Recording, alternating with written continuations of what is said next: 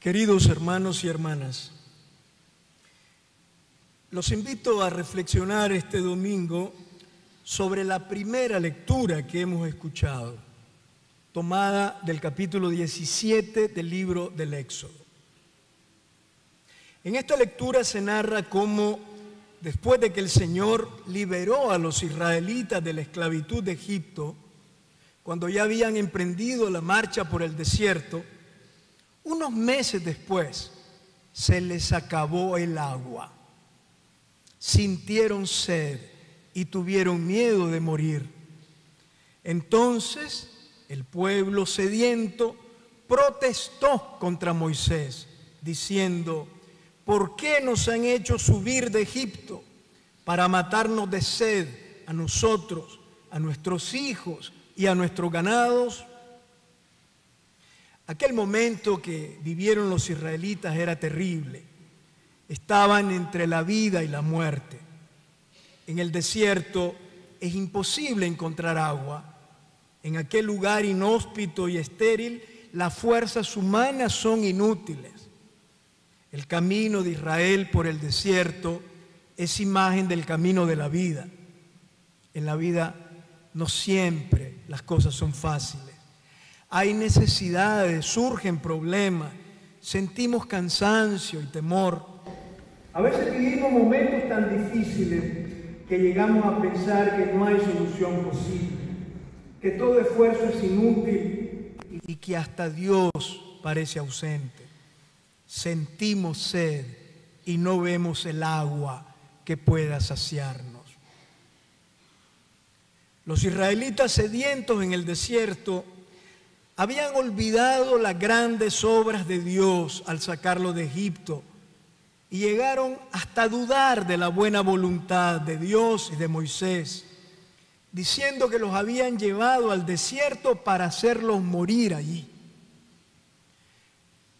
Lo que vivió Israel en el desierto le ocurre también a los pueblos que luchan por liberarse de la opresión. No es fácil emprender la marcha de la libertad. No es cómodo caminar en el desierto. Tarde o temprano surgen las dificultades, emergen los miedos. Perdemos la perspectiva de la meta de la nueva sociedad con la que soñamos. Podemos sentirnos confundidos. Comenzamos a enfrentarnos entre nosotros y hasta llegamos a pensar que todo ha sido inútil en las etapas oscuras y dolorosas de la vida y de la historia, nos hacemos la misma pregunta que se hicieron los israelitas. ¿Está o no está el Señor en medio de nosotros?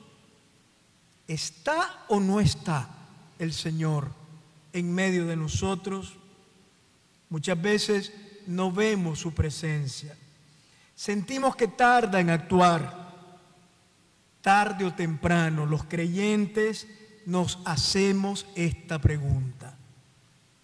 Y a veces es necesario hacerla, porque solo cuando nos interrogamos sobre la presencia de Dios, volvemos los ojos a Él, tomamos fuerzas para seguir en el camino y hacemos madurar nuestra fe.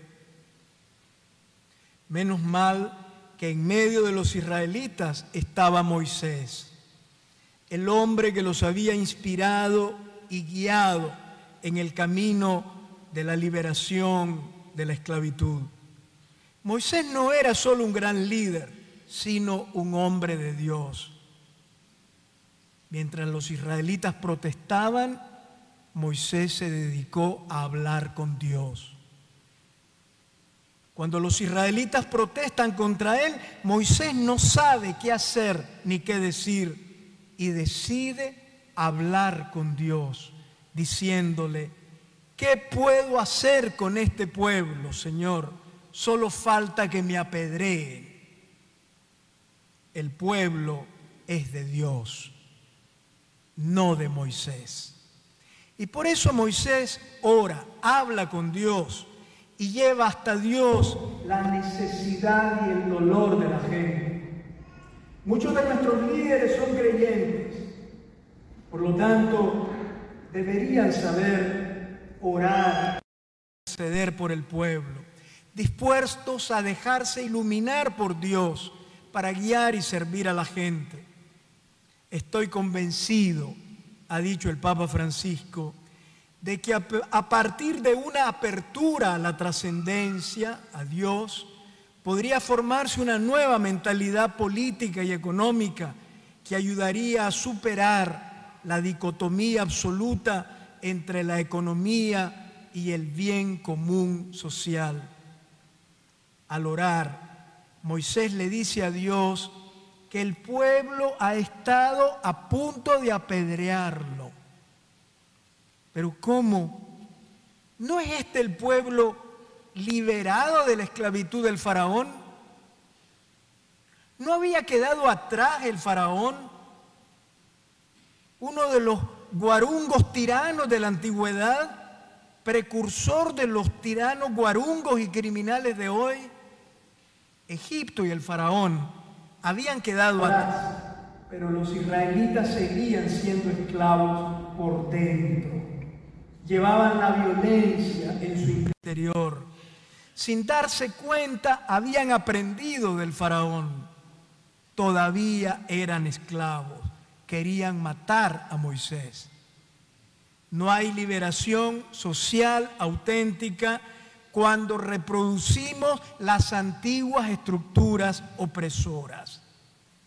El Papa dijo en el Congreso de los Estados Unidos en el 2015, copiar el odio y la violencia del tirano y del asesino es la mejor manera de ocupar su lugar.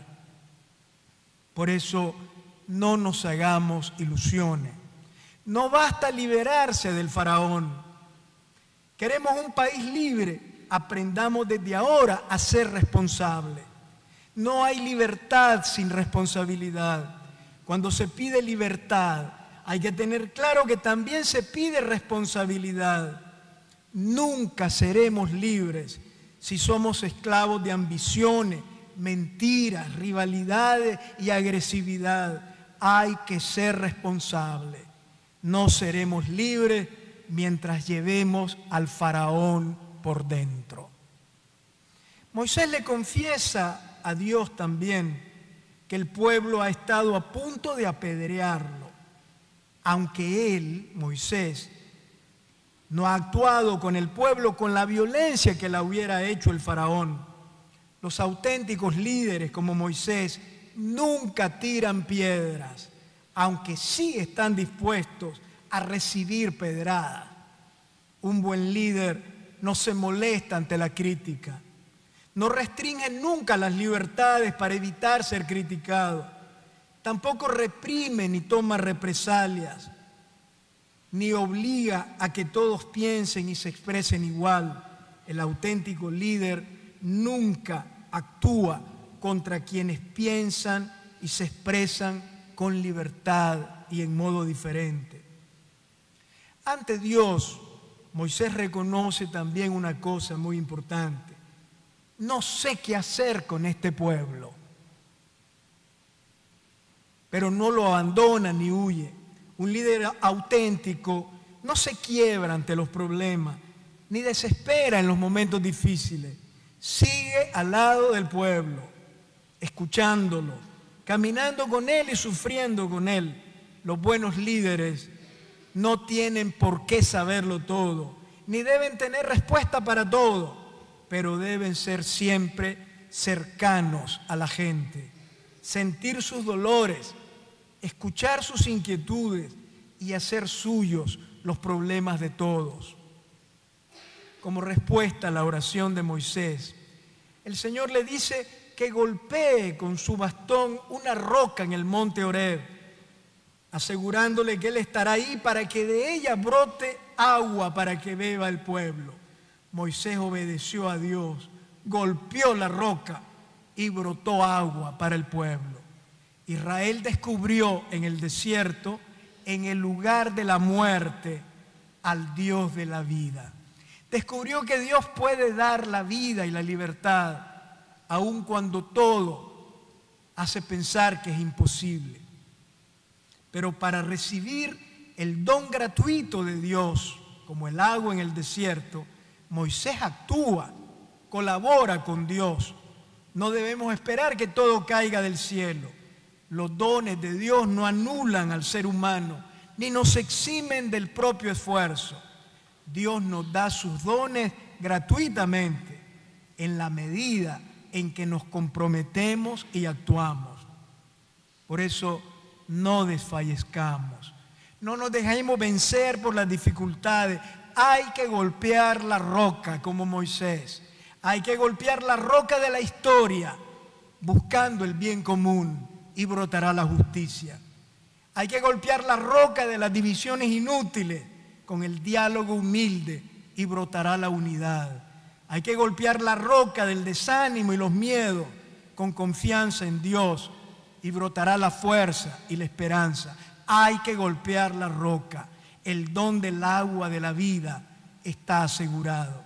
Es lo que hoy Jesús le dice a la mujer samaritana. Si tú conocieras el don de Dios. Aquella mujer solo conocía el esfuerzo de venir con su propia fuerza a sacar agua de un pozo. Jesús le ofrece como un don un agua distinta, que brota desde dentro, que emana siempre fresca e inunda toda la existencia. Es el agua de su palabra y de su espíritu. El agua que sacia nuestra sed más profunda y que solo Jesús puede darnos. El agua que brotó de la roca en el desierto anunciaba el agua que ofrece Jesús. Es el agua que colma nuestros anhelos más profundos y sacia la sed de libertad y de justicia de los pueblos que todavía caminan en el desierto. Amén.